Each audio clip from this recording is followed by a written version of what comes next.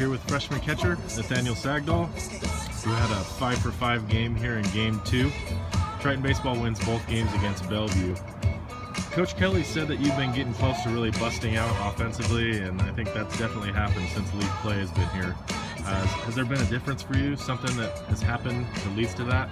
Well, I think uh, a lot of it just has to do with my plate approach. I kind of changed that a little bit for the last couple of games, and it seems to be working out pretty well for me. You guys came back in the first game, walk-off style. You've done that a couple times. You guys are not afraid of coming back. yeah. Um, seem to almost enjoy it.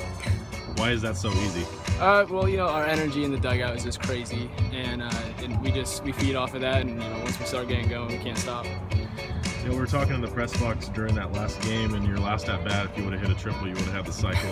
You went for uh, got your second double instead. But um, what's what's going to be important for the Tritons to win this series tomorrow, going to Bellevue? Oh, tomorrow we just got to you know focus on you know hitting off-speed pitches and taking balls the other way, and not try and get too big with our swings. And I think we'll do just fine. All right, thanks. Great job. Good luck tomorrow. Thank you.